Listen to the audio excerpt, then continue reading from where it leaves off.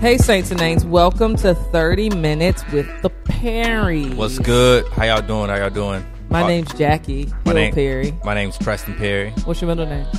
Um, it starts with the N. What is it? None of your business.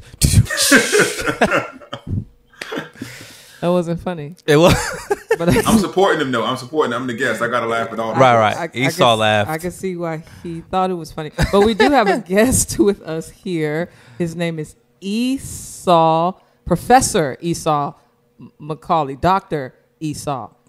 What else you got? This is. Esau will be fine. Oh, when you're a professor, you, people got to respect you because you, Yeah, you know put what some respect on my name. I'm just saying. Now, if you know anything about anything, you already know Esau. But if not, tell us who you are. I don't. I don't need to introduce you. I'm an associate professor of New Testament at Wheaton College. I'm a contributing opinion writer for the New York Times. I have three books, only two of which anybody might have read. The second book is called Reading While Black African American Biblical Interpretation as an Exercise in Hope. And the third book is a children's book called Josie Johnson's Hair and the Holy Spirit. And I have no idea when this podcast is going to drop, but it came out May the 10th, which is yesterday, as of right now. Okay. Dope. Now, this this wasn't. I didn't even think to ask this question until you introduce yourself. Do you have anybody in your family that like puts a little before your stuff? Like, Oh like, yeah, oh, your little book. Yo, yo, you got your little your book. little yeah, PhD? Yeah. your little friends. You could go to your, you finna go to your little college and teach. Yeah. yes, little. All, all of the all of the little is like black shade 101. No, it is, and underneath it is a bit of pride, but we don't want you to feel that. Yeah, That's yeah, you, you- you, yeah, you ain't all that with your little book. It's, it's like it's the main one. Your little articles. All of it on the, with the little New York Times. Yes. Facts. Okay, so Esau, we saw each other a couple weeks ago, and we talked about how you released an article on Yeah. Easter. Yeah. And I made the. It wasn't a mistake, Oh, it kind of was. Stop It it. I'm wasn't just a playing. I'm mistake. joking, joking. Yeah. but I retweeted it with the quotation from the the article where you said that when my body is raised, it will be a black body. Now, Yeah. listen Which to is my kind of logical. Listen to my heart. I thought that was the least controversial. Part. it's like I'm black. of the article because I'm just Yeah. affirming, or you're just affirming that Yes. we will be raised as ourselves. Like Yes. our ethnicity doesn't doesn't go away. But people were so angry with me. Yeah. Well, People people get in their feelings. People got in their feelings about me saying that I ruined Easter. I You ru- missed the I missed the point of the resurrection. You the ruined resurrection got Easter. nothing- You know, it's like I didn't think I put him back in the tomb. I thought he was risen in my article. Um, I can I can say a lot about that. I can say a lot about that. One of them is like how how we talk about Christian truth. Hmm. You know, there's certain things that like everybody affirms. You know about the resurrection. Anyone who's an Orthodox Christian under, affirms things like the resurrection of the body. But I think that sometimes people don't always consider like what does it mean to apply a text to particular groups of people. And so the point of the article was the following. Historically in America, black bodies have been devalued. And this isn't even that controversial, right? From slavery through the Jim Crow, through all of these things, the black body was, was, was devalued. And so what I was actually pushing back on was the denial of the resurrection of the body. In other words, this idea that when you die, your, your soul goes up to heaven and, and you, you're in a better place. That's the end of the story. I said that's insufficient because black people have been have suffered in their bodies. So, for example, you imagine all of these pictures of lynchings where they literally hang and burn a black body. Well, that was the final statement on earth about this person's body. So the question then goes, well, what does God think about that statement? Does God think about what happened to that body was good and just? Well, the resurrection of the body is a rejection of the evil done to that black body. So that when this body is resurrected and it comes back as black, it's saying that this thing that you tried to destroy and devalue, God Himself values. And one of the things, and I didn't get into it because this is the New York Times, we can't do chase all of these Bible things down the road. But one of the things that it talks about in the book of Revelation is God will wipe away every tear from our eyes before we come into the new creation. So, in other words, the Bible depicts this idea that when we are raised from the dead, we actually don't forget all of our trauma. It doesn't say that. It says that God ministers to our trauma for the final time before we enter the kingdom of God. Well, then I need to ask people this question what will black resurrected people be possibly traumatized by? Potentially racial trauma. In other words, God ministers to that racial trauma, and then he ushers us into the kingdom.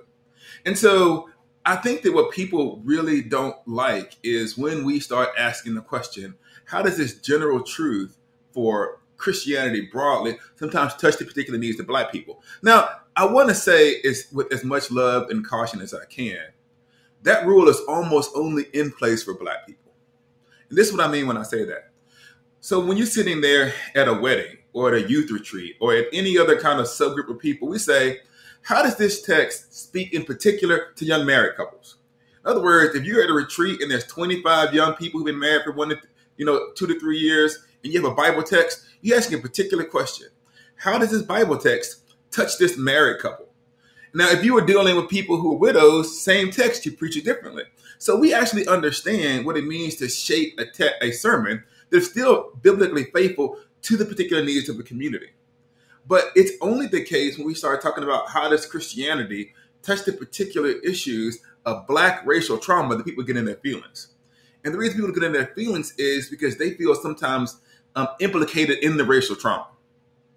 In other words, when I say this is how the gospel speaks to the things that black people have experienced, they have to then reflect upon what actually happened to black people in America, which then may raise issues of guilt or whatever is going on. But that's not my problem. My problem is I want to say something that, that helps a particular community while not denying its universal, the universal implications of the gospel, which we actually do, which we actually do for every other stuff. I mean, from children to marriage to divorce to grief, everybody gets their own ministry except for black people. Yikes. Yeah, that's- Y I K E S. Wow. But also too, I, and I want you to speak to this because I think now when we're in such a a, a, a unique time in which race and um, culture, when it's talked about, it's almost deemed as like a no no. Like like Yeah. uh, certain certain certain circles in Christendom are being conditioned and being taught that to talk about race is literally you veering away from the gospel or you not um, trusting in the scriptures and you're putting your Yeah. race over the scriptures. And so I guess for those people who who've been condi- who are being conditioned to think that man, if I bring up race, am I talking too loud? You're very loud. if I if I you if I, hear yourself. if I talk about race, or if I hear somebody talking about race, Yeah. the first thing they think about is, man, this person, all this person thinks about is race, race, race, race, race. Um, So can you talk to those type of people? Yeah, I think that um, one of the things that I would say to those people is that we sometimes, we, we too often, and I'm speaking from experience, people use the language of stick to the gospel, once again, only when it deals with issues of race. And what I want to do is I want to always, always good to sometimes step back and speak via analogy. So, for example, you can say, you know, you could be a couple that really, really loves Jesus, but your your financial history could be jacked up, and you could be super converted and still not know how to handle money. So the church says, you know what? We're not just going to preach the gospel to you. We're going to tell you how the implications of the gospel impacts your money. You could be a you could you could be a group of people who really love Jesus. You could be converted, but you actually don't know how to talk to one another and communicate healthily in a relationship. So he said, you know what? I know you saved. Now I'm going to disciple you on communication. In other words, we are always, as a church, thinking about how the gospel actually hits flesh with particular issues. Same thing in parenting. Just because you save, you don't get the Holy Spirit don't automatically teach you exactly how to parent, right? Because you inherit all of the dysfunctional parenting habits that you might have had. So we said, you know what? We need to have a retreat. Get these parents together so they don't jack their kids up. So the question then becomes when, we say just preach the gospel, we tend to believe that racism is the only sin that disappears um, magically at conversion. Or maybe it's possible that you inherited, and this is hard to hear, stereotypes, ways of thinking, ways of acting that may not be in accord with the gospel, and what you actually might need to do in the same way that you need to read and figure out how to be a Christian parent, how to be a good Christian spouse, how to manage your money as a Christian, that you need to think intentionally and theologically about race, racism, and its impact on people. Now, the other thing that I want to say, and this is actually, and I had a, I had a, a, a really nice white student come up to me and ask me this question. Genuinely, genuinely good kid. He said, I was talking to my black friend about race, and I just wanted to make sure he doesn't get like too much into his race if he stays focused on Jesus. And I say, okay, then why don't we take a step back and like look at the history of the church and say like what has actually caused more damage in the history of the church? Black people caring too much about their race or anti-black racism in Christianity. In other words, like we tend to be afraid of the last of, of, of the smaller problem. Now, before we got into this super kind of controversial moment kind of in the church, I think you noticed black people used to talk about black people who too into being black. Like we used to Oh, joke yeah. about folks who like super woke. It was a whole meme before woke became a political thing. Like, man, listen, you can't be conscious. Everything ain't the system, right? Right. So we had a way of actually dealing with that in house. Mm. We knew people who was like Who super was deep black. at breakfast? Yeah, you know, and like Why is this bacon this black? The man So- did everything. you remember, you remember like like CB4, remember that like thing? I'm blackity black black. Remember that? Yeah, yeah. Um, so we've had we've had in the black community an ongoing conversation conversation about being excessively conscious. Yeah. So we actually police this in our community. The idea that somebody outside of our community can say that you're being too black in a context where like black cultural expression is often minimized seems to be super problematic. And so what I would say, what I think that they believe is that like if you if you downplay if we downplay our blackness, then we'll have a unity that kind of emerges naturally. Wow. What actually happens is we'll just all conform into white culture. And since they don't recognize white culture as a particular culture, we'll just think that we're all unified. And I love, listen, I I love, I, and I'm not one of those people who only like Kirk Franklin. I love uh-huh. Kirk. He's the goat. Like that's my that's my lane. But I, I I can take I can take a worship song. Like I can do both, right? I can do a good worship song or gospel. But if you're saying the requirement for us to be unified in Christ is to adopt only one particular cultural form, then that's colonialization. And I know that sounds hard, but it's actually true. If you think what is normal is what you do in the majority culture, and that unity means everybody else adjusting to you, then that's not unity. That's actually colonizing people's culture. And the whole point of the gospel is that we that the gospel transforms culture, and then each one of those cultures offer those gifts to God. And so the reason why I'm not willing to let go of my culture is because God made me black on purpose. And that a redeemed black culture is a gift to the body of Christ that nobody else can give.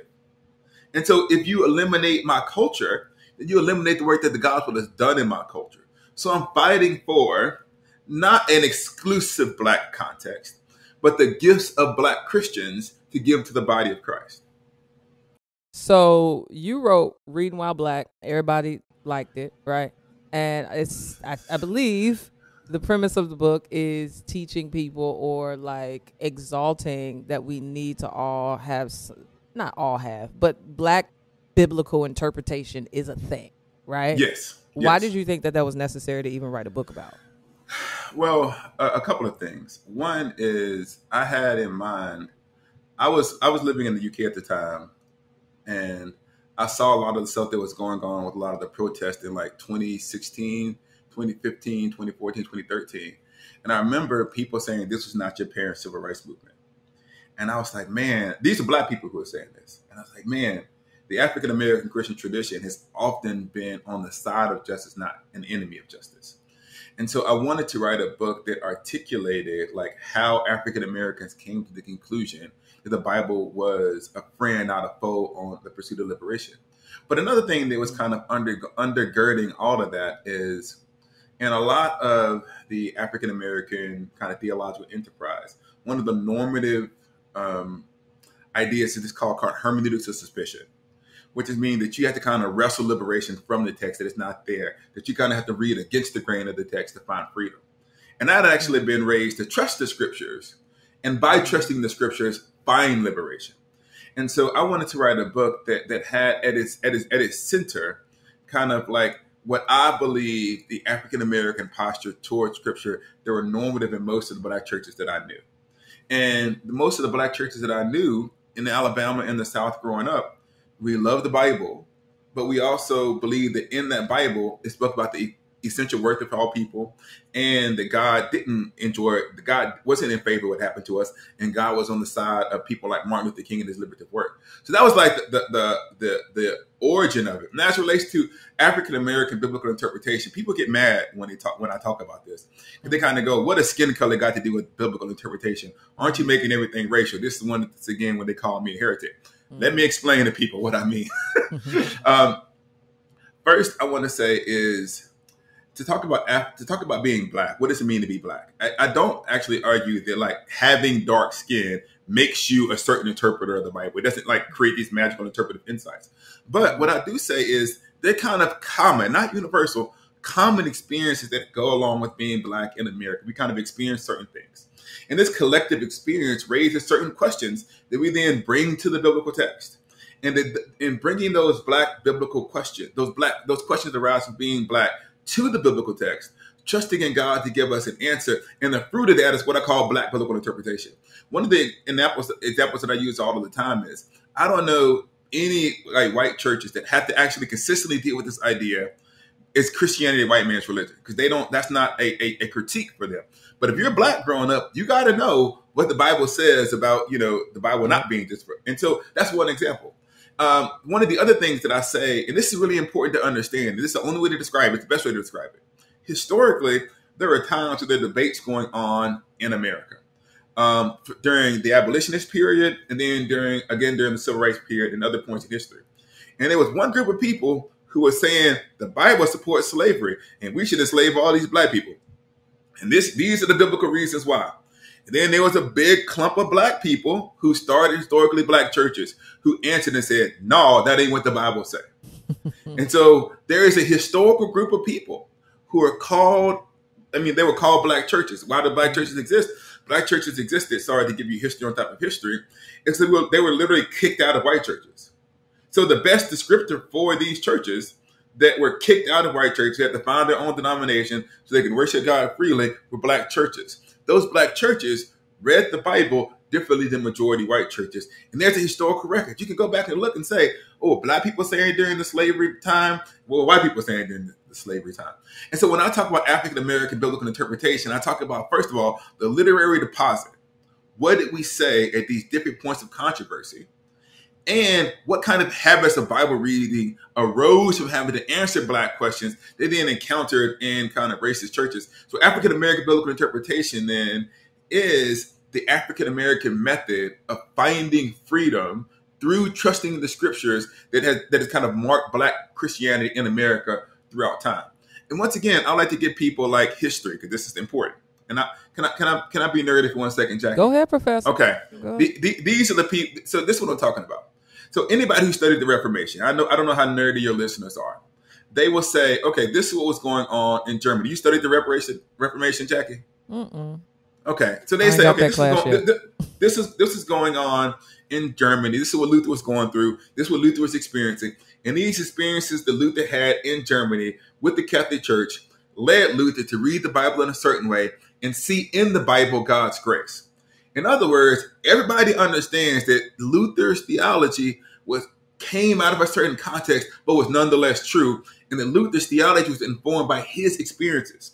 So, in other words, somebody else who didn't experience what Luther had experienced may not have come up with the doctrine of grace.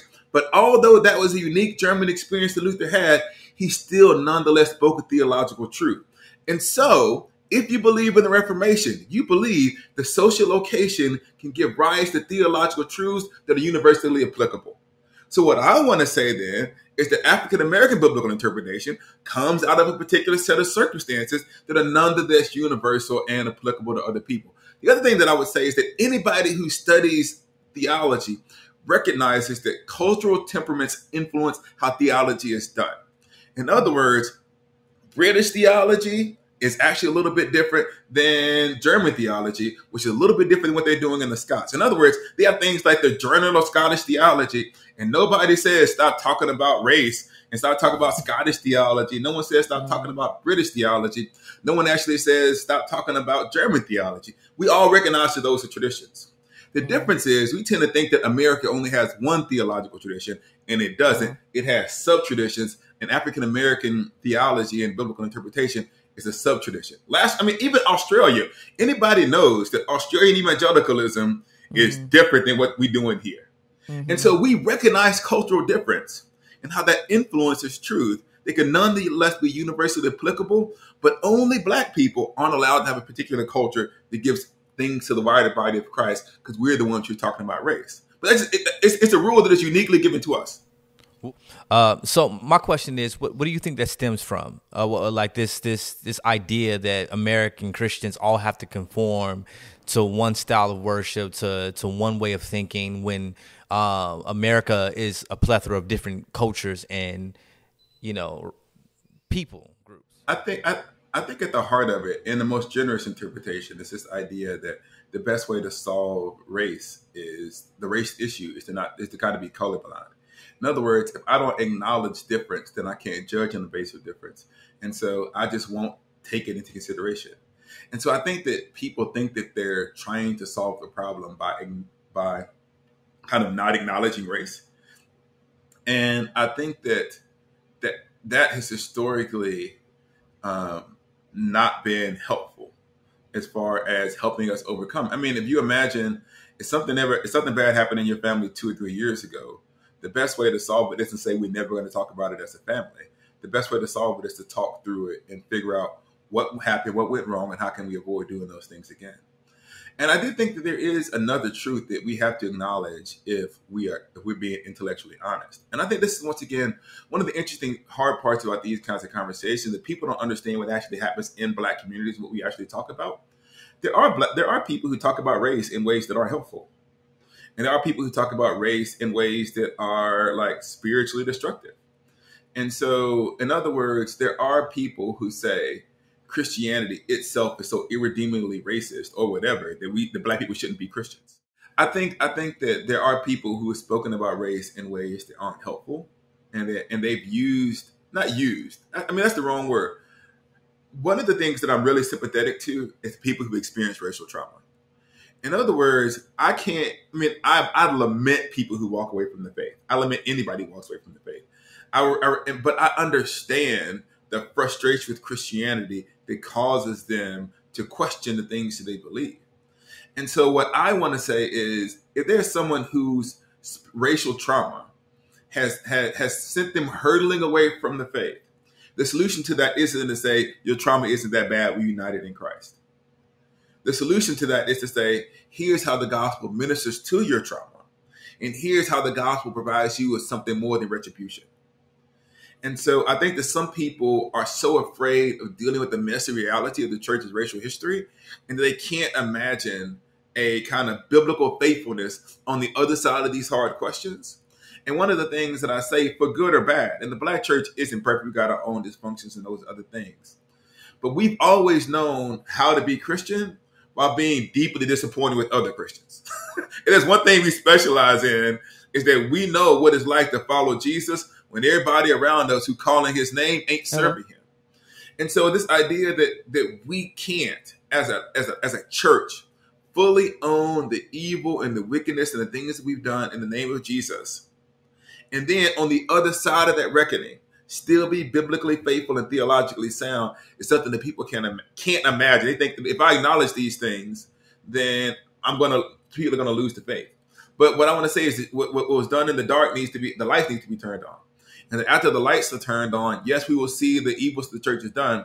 We also see the goodness of God shining through as well. I, I want to come back to the this this this black biblical interpretation thing because I, I I think the part of it that's really intriguing to me is how people really don't know or perhaps don't have the tools to identify the frameworks or the biases that they bring to passages. And, yeah. and having a framework and yeah. having a bias isn't even necessarily a bad thing. I think it becomes bad when you don't no. see it. So even something small, like uh, a couple days ago, I'm studying First Samuel one uh, because I have to do this Bible study on uh, prayer and stuff like that. And I was reading about Hannah and how it said Hannah had no children. And I'm looking at commentaries. Yeah and literally is as if like nobody really lands or stays on the fact that Hannah is barren. they just move past that and go into you know uh, uh, Elkanah's genealogy and uh, polygamy, and I was just like, huh, I think I care about her barrenness as an implication of what it was like to be a woman because I'm a woman. Yes. Right. And so I'm asking questions of this text because I'm a woman with friends that are barren and all of that. And I was just like, huh, even the commentaries are affected by people not identifying their frameworks. So, and here's the thing that I think people don't understand about this. Your experiences lead you to ask questions that the text itself can answer. In other words, you're not like distorting the text. You're saying, no, no, no. People who don't have these experiences are downplaying them. I'll give you an example. I won't cite this person's name. I'm reading this commentary and he's talking about a slave passage. And this is true. God bless this, this brother. And he said, um, well, during the ancient world, most people were free at the age of 35 or whatever. So slavery wasn't that bad. And then in a footnote, we're gonna leave that to the side. That was the first part. We're gonna we're gonna let that we're gonna let that ride. Okay. But it got it gets worse in the footnote. The footnote said, like, and I quote something along the lines of, except for women, most of them weren't free. So I said, so wait a minute, that's half the population. so, so you didn't but he it didn't even it didn't even like it didn't even register to him that he was trying to make this point that for men this would be really Mhm. good. The guy that goes, but women didn't get that benefit. So he could have kept that whole little part to himself. Another part I was reading this commentary, I think he was talking about the Good Samaritan, a different commentary, or, or something. He said there are certain groups of people who, like, as soon as you see them, he was trying to apply the text. As soon as you see them, you start to get nervous, kind of like somebody from the Middle East. And I was like, well, no. If you had asked me as a black man from the South, who was the person who, like, initially kind of gets my nervousness up, it would have been a different analogy. In other words, I don't think we often realize how much our interpretive commentaries have as their target people who they're applying the text to, kind of the white middle class. Who and so like and that has a distorting impact on the things that are emphasized and the things that are downplayed that are in the text themselves or how the text is applied. I remember I remember um, one of the things in my book, and I was so mad about this. There was two parts in the book in the chapter on um, black identity. There's two parts of the story that I didn't even know until I was literally researching the book. One of them was when I was talking about Ephraim and Manasseh, and I don't know if they've been read, they haven't read that chapter. Uh, I knew about it, but no one ever applied it to me. That like Abraham's, sorry, um, Joseph's two sons, who were then adopted into the nation of Israel, were half Egyptian and half Jewish. And that when he, when when when Joseph brings his two his two his two son, his sons to his father, the father says, "God made a promise to me. He's going to make me the father of many nations. Therefore, I'm going to take these two kids, Ephraim and Manasseh, and I'm going to adopt them into the twelve tribes." In other words, he- eh, Joseph's father said, because of these boys' ethnicities, because I see ethnicity, I want to adopt these boys. And they Africans. And nobody ever said, well, how might this apply to a young brother of African descent who's running about his place in the kingdom of God? The other thing I'm reading, ex- and listen, I'm going through the commentaries, and the commentaries mention it. Yeah, they're, you know, half Egyptian. None of them lands it. The other one is, and this is also in the book, when it says after the after the plagues and the and the people of Israel um, are leaving Egypt, there's this line in there where um, the, the writer says a mixed multitude went up with them, and I was like, what is a mixed multitude? They had me get get back in my Hebrew. The mixed multitude means different ethnic groups. That's what the word means. So the Bible's sitting there telling you, who, where are they? They in Egypt. These are African peoples who are in the tw- who are, who are, who said, you know what? They looked at the twelve tribes. They said, you know what? I want that God, not y'all God. So after the plagues, a bunch of African people said, we going with them. And so these are things that are actually in the text. The scholars, for the most part, haven't had it, haven't had. Uh, they haven't con- been concerned with these issues like ethnic identity because that's not a question for them. And so the reason that Black biblical interpretation is helpful, not because we distort the text, but we find things other people might not find because they're not looking for them. It's the same thing with women, right? Women can see things in the text that we might not notice unless we really, because it might not be a concern for me. I had, sorry, this may be too much information, but I had a student who just gave a paper, and she was talking about um, some of the menstruation laws um, in Leviticus, and she started going through like you know the woman's cycle and all of this other stuff, and I had never considered how all of this stuff landed because I never had a cycle Oh, before. yeah. And so she, she she was walking through the text. And so all these ways in which the whole point that I think is we think that like we don't need each other. And I want to believe that we all need each other to properly discern the mind of Christ. Different cultures bring different insights that as long as we're committed to the authority of scripture, we can then judge according to what the text says and see if this insight is actually good or bad. This is why we say diversify your library, your commentaries, your sermon, your uh, seminary course books. Thing. What do you call them? Things. Yes. What you call them? The little thing. Syllabus.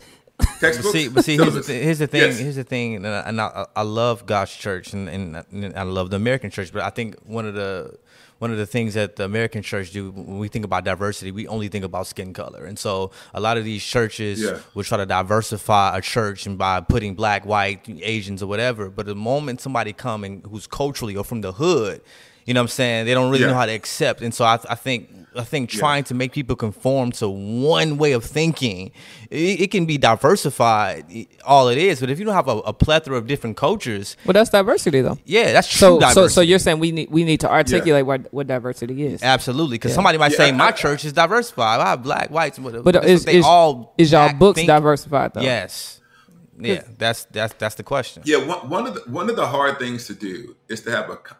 This is hard to have these conversations in public. There is no. We all know that there's no one single essence of blackness that everybody who's black agrees. For to, sure. right? That there isn't like a monolithic blackness, and so. But we also recognize that there's like cultural norms, right? There's kind of habits and ways of being that comes from being a part of the black community. And so when you talk about what happens a lot is that man, this is going to be complicated. People say that we just can't find the right fit.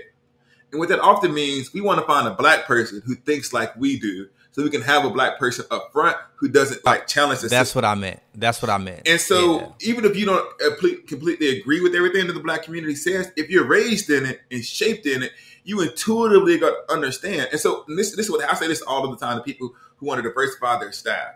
Sometimes the very black person that you're trying to find who makes you feel comfortable isn't going to connect with the black people you're trying to reach. Yikes. And so that's the hard part. Because like if you uncomfortable, that's probably the black person who everybody will be like, yes, that's somebody who we actually So I was gonna say that's the reason why certain black people in certain white spaces are so exalted, right? I'm trying to leave. See, and this, and this, this Hey is what man, I we mean. can take it there. We can take it there. no, we can't. Yeah, we can. No, we can't. I'm taking it there. Esau here.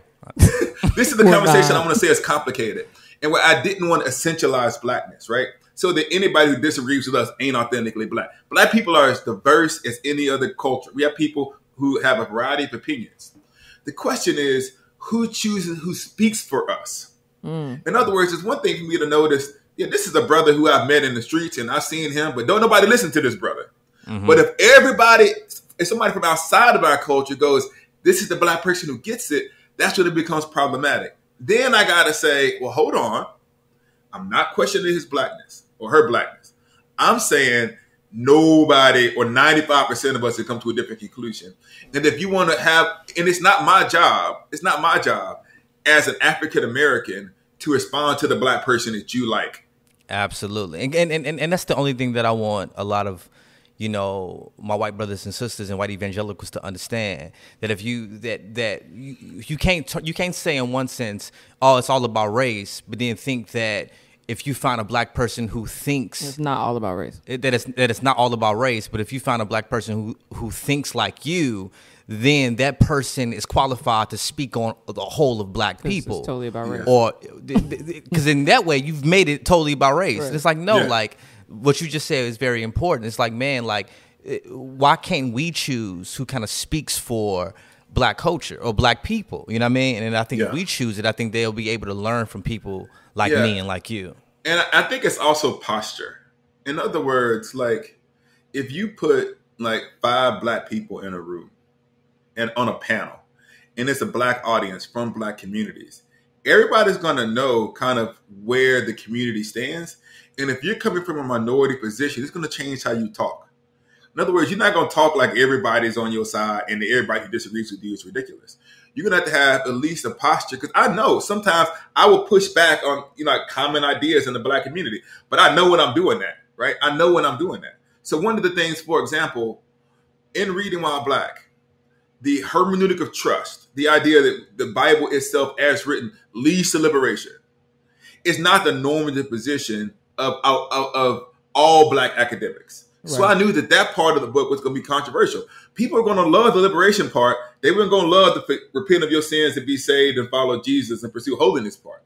So I knew as that book traveled into a black community, that part of the book was going to be complicated. So I spoke in such a way to say, here's why I'm doing that. I think that in, a, in the same way, if you are a black person speaking in a majority white setting, you have some responsibility to accurately communicate the opinions of the community that you claim to represent. And when you and when you separate yourself from that and you have your own take, you need to offer that take with some humility. That's excellent. And especially, and when I say this, I mean I'm talking about black people who love Jesus and love the scriptures like you do, Yeah. who disagree. And so um, that's and, and like and I, I try to be I try to as a writer and as a thinker be as clear as I possibly can when I'm doing me versus when I'm articulating kind of the heart of what our community has always believed. I mean, you said it all, Professor.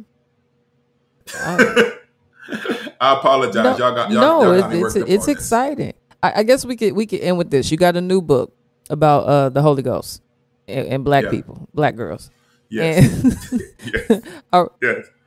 People, like- if, if you if you hold on, I need to warn them. If they didn't like the Easter article, don't buy this. no, I book, loved you're it. Get mad Be- twice. be- and I loved it because I read it with my daughters. Because now, when I get books, my oldest is seven; she can read, and so I'll have her read it to me and her sister.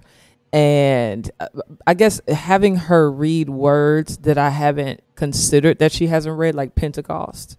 You know, it was like nations, tribes, tongues, flames of fire, and I was like, "Oh, Acts is really like creative when you when you think about it. But but then Yeah.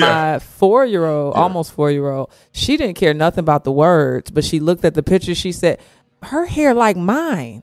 And I was like, wow, that's like really Yes. special to not only have this communication Yeah. of the Holy Spirit indwelling all peoples and nations and tongues and things, but even to have like this this illustration that looks like my children. Like I, obviously that was intentional with you, right? Yeah, I, yeah. Well, a couple of things. I, I told them that I wanted a black woman to illustrate it because I knew that she could draw the hair. Yeah. Um, and what I think, and this is probably my maybe my whole life ministry is kind of I to say summed up in that book, but I feel like there's certain places where you can go to get black cultural affirmation, and there's certain places where you can go to get spiritual affirmation. And I want to put things to put these things together. I'm not the only person who does it. I'm not talking about that. What I'm saying is, I wanted both of those experiences to kind of be there for parents. So they could actually have a book that has pictures that look like them that talks about the gods that they worship at the same time. And we all listen. I love, you know, I love Superbook and I love all these little cartoons where everybody is white. That's fine. God could use that too. But my daughter needs to see somebody who looks like her trying to follow Jesus too. And so even if even if nobody buys it but your daughter, and she had that experience, then Yeah. I think I think I did my job. And we ain't buy it, your publisher sent it. But I I will I, yeah, buy yeah. copies. No, you don't gotta. You don't. You don't. You don't gotta buy a copy. Well, you bought you bought holier. You was arguing with me about holier than thou. I'm like, I'm trying Yeah, to so- it to you for free. I know. I feel like I feel like my friends. I feel like if there's somebody whose work I support, y'all can get twenty of my dollars. So everyone who emails me and says, "Esau, can I send you this influencer box?" I'm like, "No, y'all keep the box. I'll buy it or send it to oh, somebody man. else." I ain't never And said so, that. cause I just, I just feel like, cause like each little, each little like cell means something, right?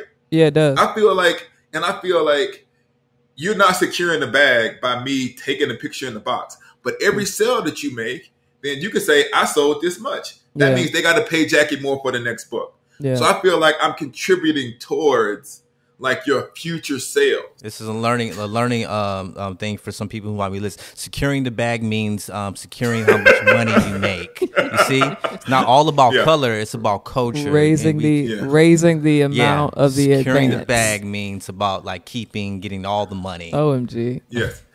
So no, the reason I say thi- this, this is this is people don't understand this. This this I don't understand. People who maybe they don't care about this, but I care about this.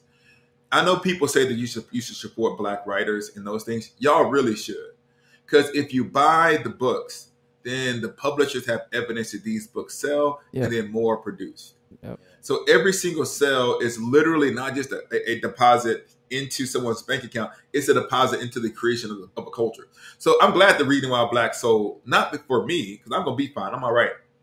But that's it, people looking for the next Reading While Black, not for me, but from some other like writer. And people tend to think that black books don't sell. So if you if I sell black books, then that means somebody else can sell black books. Amen. And so I consider it like doing whatever I can to create or support the creation of a market. So there's an ecosystem of black work. And sorry, this this isn't this wasn't in the podcast. I'm gonna say this. I know you guys. No, it's, it's necessary. what happens though? This happens a lot, especially can I just say like orthodox, traditionally minded, whatever you want to call what, what we're about. Is for a long time our voices were suppressed. And then people say, well, why I can't find any books like this? I was like, because y'all fired us every time we started talking about Jesus and race, right?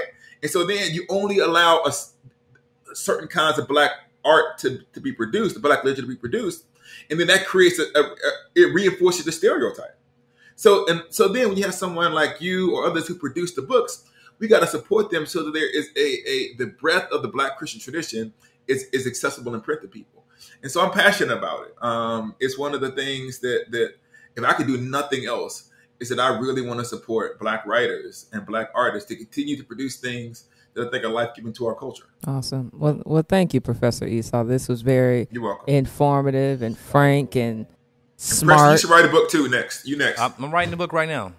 okay, then what's it called? Oh no, never mind. Don't tell us yet. We're not ready. I, You don't even know. I don't know what it's called yet, but I know what the topic is, and I'm I'm in the thick of it. Okay. All right, brother. All right. I'll talk to you later. All right, bye bye.